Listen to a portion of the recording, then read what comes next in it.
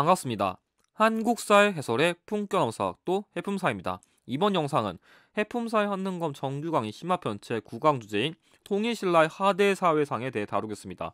어, 제가 지난번 8강 통일신라의 왕의 업적과 그 토지제도당 이 주제를 구별시킨 이유는 어, 두 유형을 구별시켜서 접근하는 게 조금 기출 유형에 조금 더 적합하기도 하고 아, 최근에 조금 더 이 유형의 출제율이 늘어났어요. 그래서 조금 여러분들의 그런 유형의 접근의 편안성을 위해 가지고 특히 이 통일신라 하대가 유독 어, 다뤄야 될 반란도 좀 몇 개 있다 보니까 여러분들 좀 설명을 위해 가지고 좀 이렇게 강의를 두 강에 걸쳐 나눴습니다. 한 이번 강의 양도 제가 보기엔 한 20분 정도 진행될 것 같습니다. 자, 그럼 강의 시작하기 전에 이론 강의 관련 공지사항 전달드리면은 강의 내용 여러분들끼리 공유, 전달, 필기 모두 가능하지만 출처는 가급적 꼭 남겨주시고 상업적 이용은 자제해 주시길 부탁드립니다. 그럼 강의 시작하도록 하겠습니다. 자, 아홉 번째 주제.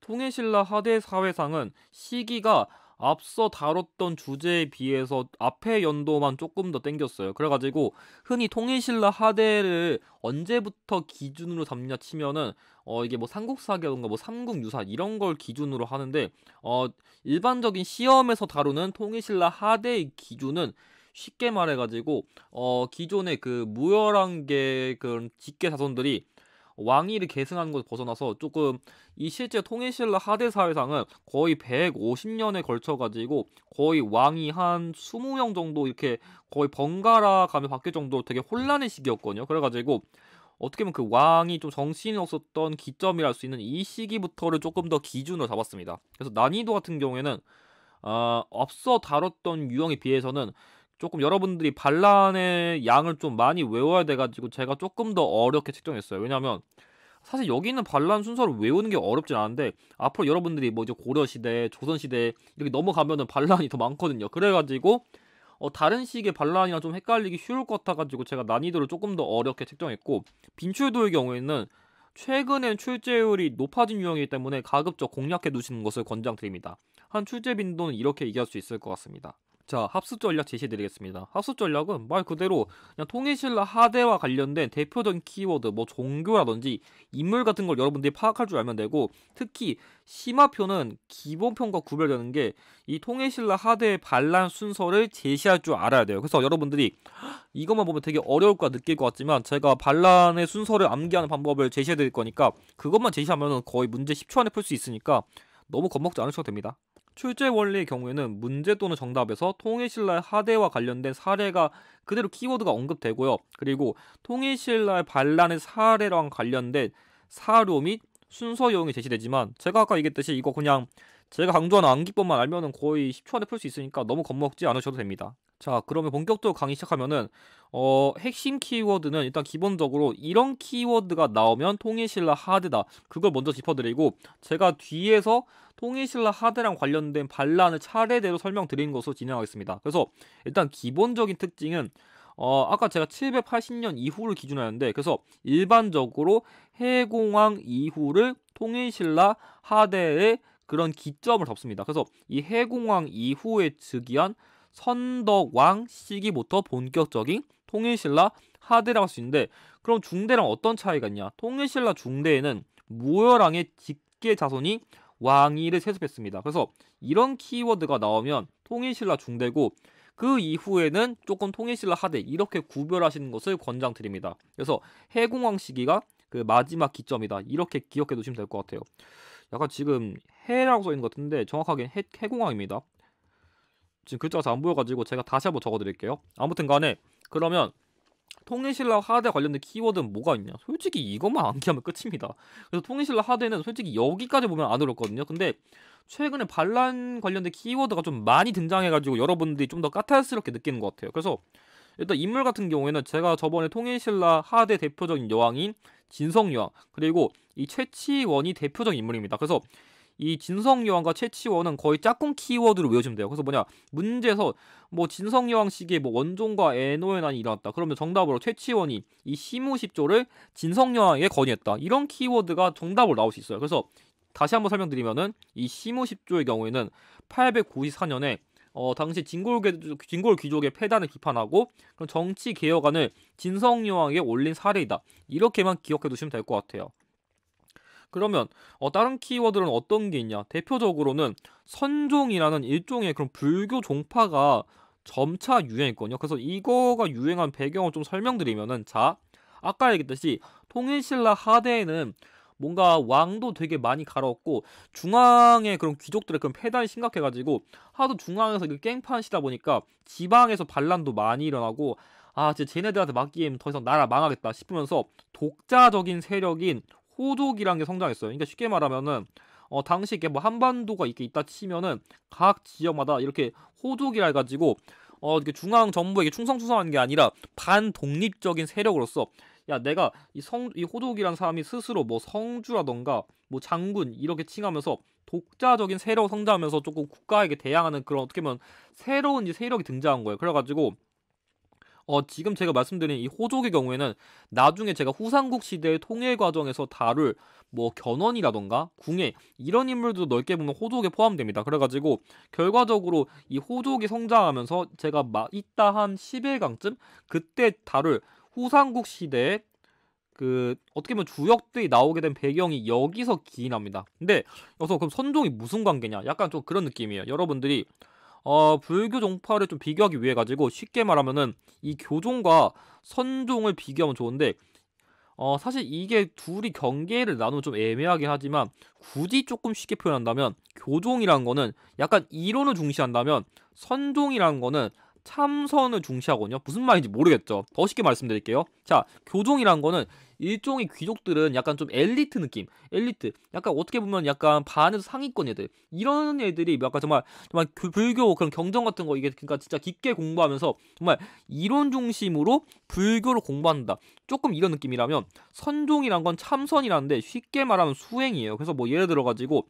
아 내가 저 불경전 이런 거 공부 못 하겠어. 약간 좀 시험 스타일로 비하면은 우리가 뭐 정규적인 교과서 이런 거 딱딱 읽으면서 정말 교과서 뭐 서적 이런 거 읽으면서 정말 깊게 공부하냐? 아니면 해품사가 이런 식으로 키워드만 찝어주면은 누구나 시험에 합격할 수 있다. 조금 이런 차이로 이해하시면 여러분들이 구별이 쉬울 것 같아요. 그래가지고 선종의 경우에는 누구나 이런 식으로 뭐 나무함이 타별 나무함이 타별 이렇게 수행만 하면은 누구나 극락에 갈 수 있다는 약간 좀 일종의 수행을 조금 더 중시한 그런 불교 종파예요. 그래서 어떻게 보면은 아, 내가 공부한 거 너무 싫은데 나도 극락에 가고 싶어. 근데 선종 같은 경우에는 어, 조금 그런 걸 하기에는 조금 더 적합한 것 같아. 나도 조금 쉽게 배울 수 있다.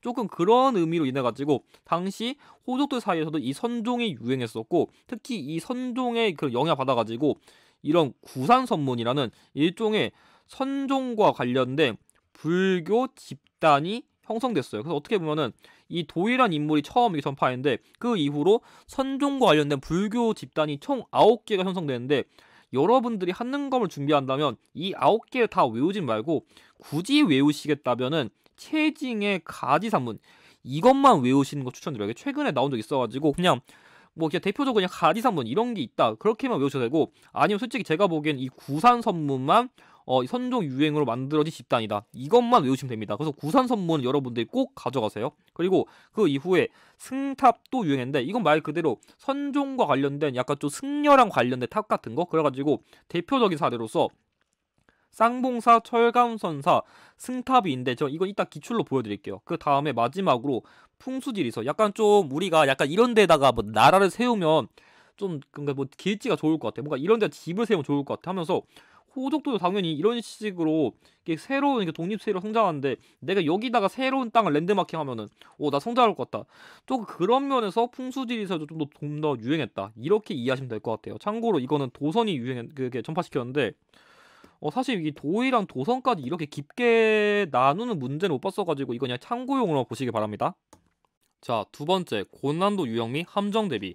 어, 고난도 유형으로는 여러분들 심화편을 준비하신다면은 통일신라 하대 반란의 특징과 순서 정도는 가볍게 외우실 줄 알아야 됩니다. 그래가지고 일단 가, 기본적으로 각 반란의 특징을 제가 가볍게 다뤄드린 다음에 사실 뭐 제가 지금 뭐 1단계, 2단계, 3단계, 4단계 이렇게 표현했는데 사실 이건 의미 없고 그냥 반란의 순서대로 그냥 나열한 거니까 그냥 이거 참고로 보세요. 아무튼 간에 각 반란의 특징을 제가 그래도 가볍게 하나씩 설명드리면은 자 먼저 김원창이 난 김원창이 나는 822년 헌덕왕 시기에 발생했는데 어, 제 개인적 연도까지 외우시지 말고 그냥 이 이따 제가 설명드린 그냥 순서 암기 방법으로만 외우셔도 괜찮을 것 같습니다. 아무튼 간에 김원창이라는 김원창의 아버지인 김주원이 왕이 되지 못한 거에 대해서 복수를 하기 위해서 좀 일으킨 반란인데 쉽게 말하면은 이 김주원이란 인물은 무열한 게 인물이에요. 근데 어 제가 아까 설명했듯이 통일신라 하드 때는 그런 귀족들의 왕이 다툼이 심했는데 당시에는 이 무열한 계와 원성한 계의 그런 바, 내부 다툼이 심했어요. 그래가지고 어, 결과적으로 당연히 무열한계는 통일신라 중대 이후에 무너졌으니까 당연히 역시 아버지 역시 왕위에 즉위하지 못하고 좀 물러나게 돼가지고 아들이 좀 이런 거에 그런 복수하기 위해 가지고 당시 이 김원창이 웅천주의 도독이었거든요. 지금을 치면은 그게 공주 지역인데 그 공주 지역에서 이런 장안국이란 국가를 연 다음에 경운이란 연호를 쓰면서 일종의 괴대국을 만들었어요. 그래가지고 어떻게 보면 통일신라 하대에서 발생한 대표적인 가장 큰 반란이라고 표현해 볼 수 있겠네요. 자, 두 번째로는 장보고의 난인데 이 장보고의 난은 문성왕식이 발생했거든요. 우리가 흔히 하는 장보고는 약간 좀 완도에 청해진을 세워가지고 해상무역을 장악한 그 강력한 장보고 맞습니다. 아무튼 간에 어, 이 장보고가 나는 일으킨 이유는 쉽게 설명드리면은 자 아까 설명드렸듯이 장보고는 해상무역의 대가예요. 제가 이거 좀 고대 시대의 경제 유형에서 조금 더 자세히 설명드릴 건데 어쨌든 장보고는 그런 어떻게 해상무역 대가로서 힘, 권력, 그러니까 군사력, 정확히 군사력 이런 건 센데 신분이 낮아요. 그래가지고 반대로 이 신무왕 같은 경우에는 진골 출신이어가지고 신분은 높은데 어, 내가 신분, 이게 뭔가 좀 왕이 다투면서 이기려면은 어쨌든 간에 군사는 필요합니다. 근데 군사가 없으니까 이 신무왕이 장보고에게 딜을 하는 거예요. 어떤 딜을 하냐면, 자, 이 장보고의 딸을 내가 왕이 되면은 그 이게 결혼해가지고 어쨌든 장보고의 딸이 이 신무왕과 결혼하면은 어쨌든 나도 왕족 출신과 연결되다 보니까 이 장보고의 권력이 높아지겠죠? 어, 장보고가 그래서 오케이 하면서 당시에 이 신무왕의 군사에게 지원을 줘가지고 당시에 이 신무왕이 그 민해왕을 살해한 다음에 왕위에 즉위했어요. 근데 얘도 금방 죽고 나서 그 신무왕의 아들인 문성왕이 그 즉위했는데 이 장보고가 아빠가 약속을 못 지켰으니까 그 문성왕에게 찾아가가지고 야 네 아빠가 사, 채 나한테 썼는데 못 갚았어 야 네가 내 딸이랑 결혼하니까 문성왕이 정신 나간 아저씨가 뭐라는 거야 하니까 장보고가 빡쳐가지고 이 배신당한 것 때문에 반란을 일으켰는데 결과적으로 이 장보고는 염장이라는 인물에 의해서 살해돼가지고 결국 반란을 일으키지 못했습니다. 그래서 염장을 지른다는 말이 여기서 기원했다는 뜻도 있는데 조금 더 추가적으로 말씀드리면은 어, 사료에서는 그 장보고를 궁복이라고 표현할 수도 있거든요. 그래가지고 이 이름까지 추가적으로 외워두시길 바래요. 뭐 나머지 키워드는 간단합니다. 밑에 있는 거는 이 원종 애노에난과 적고적의 난은 저번에 설명드렸던 대표적인 진성 여왕의 난인데 어 약간 당시에 중앙에서 약간 좀 깽판 오지게 치고 맨날 술 퍼먹고 놀고 있는데 얘네들이 세금까지 오지게 뜯어가니까 지방에 있는 애들도 빡쳐가지고 또 반란을 일으킨 거예요. 어떻게 보면 중앙의 그런 폐단으로 인한 그런 반란의 결과를 할수 있겠죠. 그래가지고 이 사벌주 지금으로 치면은 상주 그러니까 경부상북도의 상주 지역에서 발생한 대표적인 반란이 원종과 애노의 난이고 적고적의 난은 전에 설명드렸듯이 붉은 바지를 입은 도적들이 일으킨 반란이다. 그래가지고 이 반란 순서를 좀 쉽게 외우기 위해서 김장하러 김장하러 원정 간다. 그래서 김장하러 원정 가다 적어놓고 그냥 반란 순서 대입하면 쉽게 풀 수 있습니다. 뭐 적이긴 한데 그냥 김장하러 원정 간다. 그냥 이렇게 대입해 보시고 푸시면 금방 문제 풉니다. 제 밑에 적어놓은 통일신라 중대 반란은 여러분들이 최근에 통일신라 중대 반란도 조금 문제로 나오기 위해 있기 때문에 좀 시기를 구별하기 위해서 적어놓기만 했는데 그냥 지금 참고용을 알아두세요. 자 보면은 이 대공의 난, 김지정의 난을 조금 더 외워두는 게 좋은데 특히 이 김지정의 난을 계기로 통일신라 중대가 끝났어요. 그래서 어떻게 보면 분기점이 이 김지정의 난이라고 할 수 있기 때문에 이게 되게 어떻게 보면 한는 검에서 좀 중요한 사건이라 할 수 있을 것 같습니다. 아무튼 간에 이 사건들은 공통적으로 해공황 시기에 발생한 건데 어 그래도 좀 간단히 설명을 드리면 이 대공의 난이란 거는 이 해공왕이 이때 즉위했었는데 이때는 좀 나이가 어렸어요. 그래서 나이가 어려가지고 사실 엄마가 이게 좀 대신 정치를 해주는 수렴청정 이런 걸 했었는데 그래가지고 당시 귀족들이 쟤 너무 어린데 왕하면 안 될 것 같아. 그래서 갈아엎으려 했던 게 대공의 난이고 구육각간이란 거는 여기서 각간이란 거는 신라의 일종의 최고의 관직이에요. 그래서 여기 지금 96명의 각간이 이런 식으로 어, 반란을 일으켜가지고 조금 발생했던 게 96 가까이 나인데 공통적으로 지금 대공에 난96 가까이 난도 그렇지만 이 김지정이 나는 경우에도 이제 김 이제 해공왕이 이때쯤이면 그 나이를 좀 먹었는데 아직도 여자에 빠져 있어 술에 빠져 있어 깽판 치고 있어 진짜 뭐 오줌도 못 가려 이러니까 반란을 일으켜서 약간 좀 궁궐 장악한 게 김지정의 나이인데 어 나중에 이 김지정의 나이 발생한 이후에 김양상이랑 그 김경신이라는 인물이 있거든요. 이 인물들이 나중에 왕이 되는 뭐 선덕왕, 원성왕 이런 인물들인데 이 나중에 이 인물들도 반란을 일으켜가지고 이 김리정도 제거하고 해공왕도 제거하면서 이때부터 어떻게 보면은 지금 제가 말씀드렸던 것들이 모두 다 귀족의 권력이 다시 강화되면서 자신들도 조금 권력을 이렇게 먹고 싶기 위해 가지고 이런 식으로 계속 귀족들이 견제를 하면서 반란을 일으킨 사례고 어떻게 보면 그 절정을 찍은 게 여기여 가지고 그 뒤로부터는 계속 반란이 일으킨 흐름이 어떻게 보면 이런 흐름에서 기용했다. 조금 이렇게 잡아가시면 왜 이렇게 반란이 많은지 여러분들이 조금 쉽게 이해할 수 있을 것 같습니다. 그럼 이것으로 이론 강의 내용을 마치고 한번 기출 문제 풀이해 보도록 하겠습니다.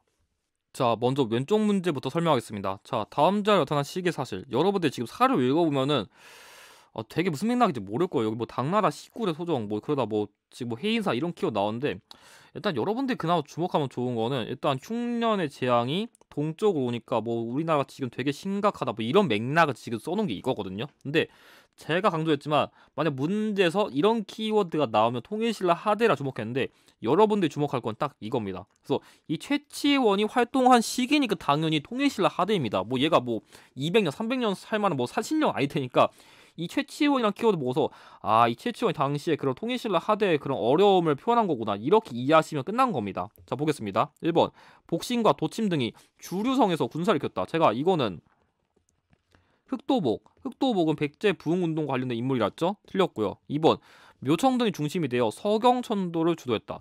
아 이거는 제가 아직 고려시대 안 가르쳐가지고 여러분들이 모를 텐데 이거는 고려시대 인종 시기의 역사적 사실입니다. 아직 안 났고요. 자 3번 신라군이 당해 군대 맞서 매소성에서 승리했다. 자 이건 삼국시대 통일 과정인데 자 지금 우린 통일신라 중에서도 하대 다루죠. 안 맞고요. 4번 지방에서 호족들이 반독립 세력으로 성장하였다. 자 중앙에서 깽판 치니까 호족 성장한다 했었죠. 정답 4번이고 5번 요새가 법화 신앙에 중점을 둔 백년결사를 주도했다. 아 이것도 아직 안 가르친 건데 이거는 고려시대 승려니까 지금은 참고하시기 바랍니다. 일단 정답 4번이고 자 우측 문제 우측 문제의 경우에는 자 여기 보면은 전라남도 화순군 쌍봉사에 있는 철감선사 승탑 아 이게 아까 제가 얘기한 승탑인데 이런 식으로 승탑의 경우에는 여기 지금 잘 보면 이게 각져 있거든요. 그래서 이 각을 모두 세 보면은 팔각형이에요. 그래서 이런 식으로 지붕이 팔각형인데 조금 원 모양을 가진 그런 특징을 전문 용어로 팔각 원당형이라고 해서 그게 지붕이 뭔가 팔각인데 조금 좀 동글동글한 것 같다. 그런 모양이 보이면은 여러분들이 이 쌍봉사 철감선사 승탑이구나. 이렇게 주목하시면 좋을 것 같고 실제 여기 9세기부터 유행했던 키워드도 있고 여기 보면은 제가 강조한 도의선사가 가지산문을 개창한 이후 구산선문을 형성했다. 키워드 그대로 나왔습니다. 그럼 이거 관련된 거니까 지금 여기 있는 거는 선종과 관련된 걸 냈네요. 자 그러면 이렇게 풀면 되는데 어, 여기서는 지금 제가 종교 유형 안 가르쳤으니까 지금은 정답만 찾는 거를 조금 더 중시하시고 지금은 그냥 이런 종교가 있다는 것만 참고하시기 바랍니다. 지금 여러분들이 거의 모를만한 키워드가 많아가지고 아무튼 1번 동경대전을 경전 삼았다. 이건 제가 나중에 조선시대쯤에 다룰 동학이란 종교입니다. 자 2번 단군을 숭배의 대상으로 삼았다. 이건 나중에 일제감정기 시기쯤 가야 돼야 나오는 대종교란 종교고 3번 대성전을 세워 옛 성현의 제사 지냈다. 이 대성전이란 거는 여러분들이 한 번쯤은 들어봤을 수만 있는 그 약간 성균관 이런 데 대표적으로 있는 건데 어쨌든 간에 유교 뭐 조금 더 깊게 들어가면 성리학과 관련된 거라 할 수 있겠네요. 자 4번 참선과 수행을 통해 깨달아 얻고자 했다. 제가 선종의 경우에는 이렇게 열심히 누구나 나무아미타불 하면은 극락갈 수 있다. 이렇게 설명했죠. 정답 4번이고 5번 마음속에 하늘님을 모시는 시천주를 강조했다. 이게 약간 어떻게 보면 약간 좀 기독교랑 비슷한 느낌도 있는데 약간 그 동학이 여러 종교의 그 특성을 경합, 그렇게 결합한 게 있거든요. 그래가지고 이것도 어쨌든 간에 지금 동학이란 종교랑 관련된 키워드다. 그냥 그 정도만 참고하시기 바랍니다. 일단 여러분들 지금 정답만 잘 찾아도 반은 가신 거예요. 자, 그럼 조금 더 어려운 유형 접근해 보겠습니다. 제가 지금 가져온 것들은 공통적으로 다 통일신라 하대 반란과 연결되는 유형인데 제가 혹시나 몰라가지고 약간 통일신라 중대 반란 사회상 가져왔습니다. 자, 제가 그래서 뭐라 했어요? 일단 통일신라 하대 반란 유형이 나오면 뭐라 했습니까? 김장하러 원정 가자. 그래서 뭐라 했어요? 김원창의 난, 장보고의 난, 원종과 애노의 난 정확히 이거는 적고적의 난인데 제가 이렇게 표현한 겁니다. 자 보겠습니다. 이 문제. 자 웅천주 도독 헌창이 아빠 주원이 왕이 되지 못한 걸 이유로 반란 일으켜서 국호를 장한 연호를 경운이라 했다. 자 그럼 뭐겠어요? 김장하로 원정 간다 해서 김원창이 난이겠죠? 음 더 좋아요. 그러면 822년에 헌덕왕 시기에 김원창의 난이에요. 어 좋아. 자 두 번째 나의 사료. 진성왕 3년. 여러분들이 또 이렇게 나오면은 어 진성왕 있는데 여기서 말하는 진성왕 진성 여왕입니다. 그래서 이런 식으로 한 글자 빠져 있는 건 헷갈리면 안 돼요. 자 밑에 또 보면은 왕이 관리를 보내 뭐 이렇게 세금을 독촉하니까 도적이 벌떼처럼 일어났다는데 원종과 애노 등이 사벌주를 근거지로 반란을 일으켰다. 자 그럼 뭐겠어요? 지금 원종과 애노에나 나왔으니까 지금 여기 있는 건 이거겠죠? 그럼 보겠어요. 자 원종과 애노에 나니까 889년에 진성여왕 시기 반란인데 자 그러면 뭐겠어요? 가나사의 시기도 사실인데 자 그러면 지금 김원창이나 원종 애노가 나왔으니까 지금 문제에 나온 정답은 이거의 확률이 너무나 높은데 한번 보죠. 1번 왕명으로 거칠부가 국사를 편찬하였다. 이거 제가 진흥왕과 관련된 키워드를 했습니다. 대표적인 역사서인데 아무도 틀렸고요. 2번 왕의 잔인인 왕의 장인인 김음돌이 반란 일으켰다. 제가 이건 뉴스페이퍼시라는데 제가 조금 팁을 드리면은 여러분들이 만약에 통일신라 하대가 나왔으면은 이 김음돌의 난이 오답으로 나올 확률이 진짜 진짜 진짜 높아요. 그래서 만약에 통일실 하대가 나왔는데 김음돌의 난이 나왔다. 그러면 일단 제끼셔야 됩니다. 이거 낚이시면 안 돼요. 자, 3번.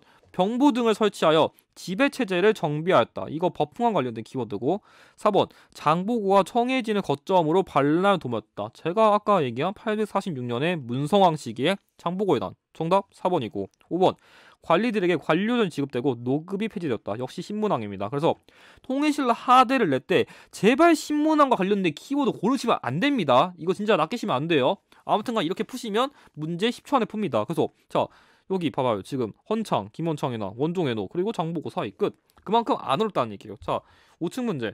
5층 문제 같은 경우에는 해공왕 말년. 제가 해공왕 이후면은 통일신라 하대라 했는데 어, 반신들이 제멋대로 놔두니까 선덕 이 선덕이 나중에 그 기, 김양상이 나중에 말하는 그 선덕왕이고 그리고 얘네들이 나쁜 물이 제거하고자 부르짖어 가지고 김경신이 이때 참여했다는데 이 김경신이 나중에 원성왕입니다. 그래서 어떻게 보면 이때 이 당시 김지정이란 인물이 반란 일으키니까 사실 얘네가 어 반란 일으키네 제거하겠다는 명분으로 지네가 이런 식으로 높은 관직에 올라가지고 왕이 먹으려고 사실 한 거예요. 그래서 어떻게 보면은 다 다 명분이에요. 그러니까 자기의 그런 권력을 차지하기 위한 일종의 그 명분 같은 거 그렇게 이해하면 되는데 사실 이 김지정의 난 직후에 있던 상황인데 그냥 저는 그냥 표현상 그냥 편하게 그냥 김지정의 난이라 하겠습니다. 그냥 그 근처니까. 그래서 그럼 780년 이후인데 사실 제가 저번에 강조했듯이 특정 시기 이후에 사실이 나오면은 제가 뭐라 했어요. 선지에서 마지막에 발생한 거 고르면 풀 수 있다. 자, 1번.